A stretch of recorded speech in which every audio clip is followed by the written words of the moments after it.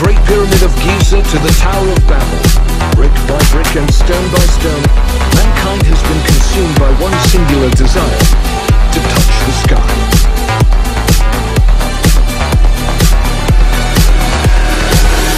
Perhaps finally we've done it. This astounding feat of architecture is the brainchild of China's wealthiest man, visionary entrepreneur Zhao Mingji, who has spared no expense creating this city in the sky, going so as to build a 30-story vertical park at the building's center.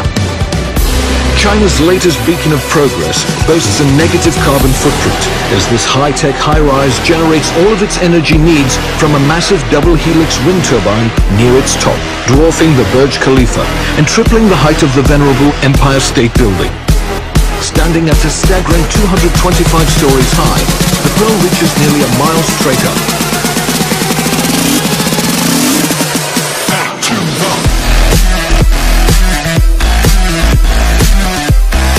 The mysterious sphere at its peak that has the architectural world buzzing, sparking wild speculation as to its purpose.